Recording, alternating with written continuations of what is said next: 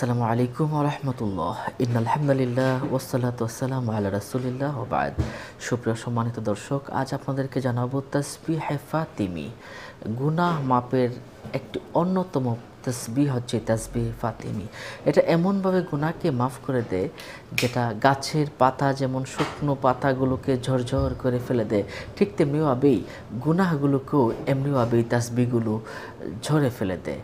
সুবহান আল্লাহ একবার এই তাসবিটি কি করে আমাদের মাঝে আসলো? তাসবি ফাতিমি কেন নাম হলো? আসুন আমরা জেনে নেই।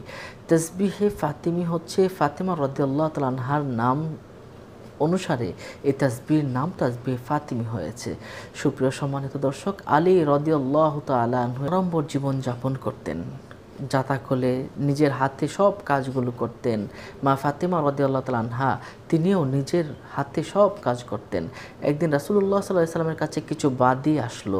তখন আলী রাদিয়াতন বললেন, যে তুমি যাও রাসুল্লাহ সাল্লাহ সাল্লামের কাছে গিয়ে একজন বাদি নিয়ে এসো। দেখো রাসুল সাল্লাম কী বলেন। তখন ফাতেমা রদ্দাল্লাহ তাল আনহা রাসুল্লাহ সাল্লামের কাছে গেলেন। গিয়ে দেখলেন অনেক মানুষের ঝড়ো হয়ে আছে। তখন তিনি লজ্জায় রাসুল সাল্লামের কাছে বলতে পারেননি, ফিরত চলে আসলেন। পরদিন রাসুল সাল্লাম মা ফাতেমার ঘরে আসলেন, এসে বললেন, মা ফাতেমা, তুমি আমার ঘরে কেন গিয়েছো? তখন লজ্জা এসে বলতেছিল না।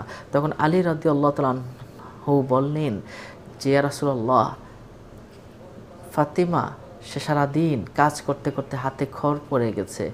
সব কাজ নিজের হাতে করে পানি আনা, যাতা করে পিসা সব কিছু করতে করতে হাত বলি হয়ে গেছে, নষ্ট হয়ে যাচ্ছে। এই জন্যই আমাদের একজন দাসী প্রয়োজনের কারণেই ফাতেমা আপনার কাছে গিয়েছিল।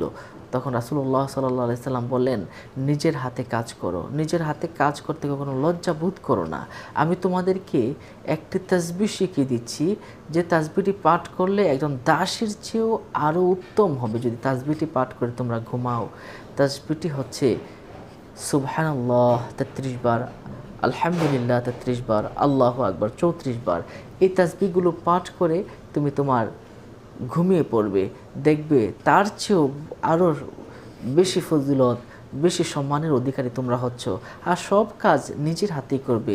ফাতেমা রদিউল্লাহ এই কথা বলে রসুল্লাহ সাল্লাম বিদায় নিলেন। ঠিক তখন থেকেই এই তাসবিটির নাম হয়ে যায় হে ফাতেমি।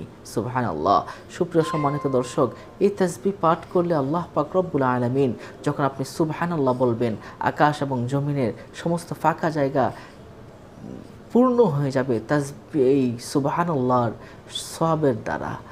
আর আলহামদুলিল্লাহ যখন আপনি পড়বেন, তখন মিজানের পাল্লাটা ভারী হয়ে যাবে। সুবাহানুল্লাহ। ঠিক তেমনি অবি আল্লাহ আকবার বলারও অনেক অসংখ্য ফায়দা আমরা পেয়ে থাকি। আপনারা এমনভাবে তাজবি পাঠ করবেন, তেত্রিশ বার সুবহান আল্লাহ তেত্রিশ বার আলহামদুলিল্লাহ, চৌত্রিশ বার আল্লাহ আকবর, এটা কি তাজবিহে ফাতিমি বলা হয়? এই তাজবিটি পড়ার সবাই চেষ্টা করবেন ইনশাল্লাহ আল্লাহ পাকরবুল আলমিন এর উসিলা আমাদের গুনাহকে মাফ করে দিবেন।